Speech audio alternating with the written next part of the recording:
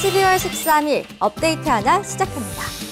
문화체육관광부가 주관하는 2021년 광고산업발전 유공자 정부포상 전수식에서 하나커뮤니케이션위원회 박지영 부사장이 대통령 표창을 수상했습니다.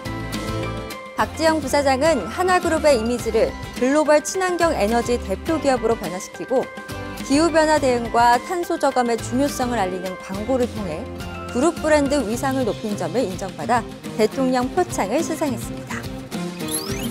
한국무역협회가 주최하고 산업통상자원부가 후원하는 제58회 무역의 날 유공자 포상에서 하나솔루션 PVC 글로벌 영업팀 변성준 상무가 대통령 표창을 수상했습니다.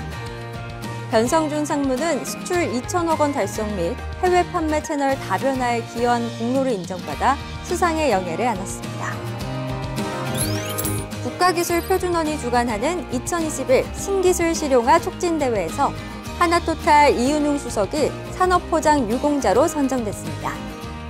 이은웅 수석은 친환경 전선용 PP인 CSPP 소재를 개발한 공로를 인정받아 이번 유공포상에 선정됐습니다.